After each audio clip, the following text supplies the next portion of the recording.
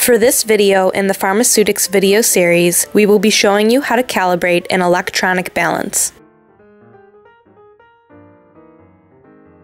This is an image of an electronic prescription balance that you will be using in lab. The first thing you are going to want to do is turn one of the dials completely clockwise or counterclockwise. This will leave the calibration bubble either in the 12 o'clock position or the 6 o'clock position as seen here. The next thing you are going to want to do is lift the balance from the front and from the back to determine if the balance needs to be lifted up or down to get the bubble in the center. In our case, the back of the balance needs to be lifted up in order to get the bubble to move towards the center.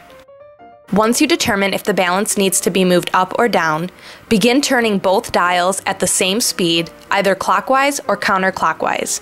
Clockwise will make your balance go up, counterclockwise makes the balance go down. Once you get the bubble in the center, your balance has been calibrated.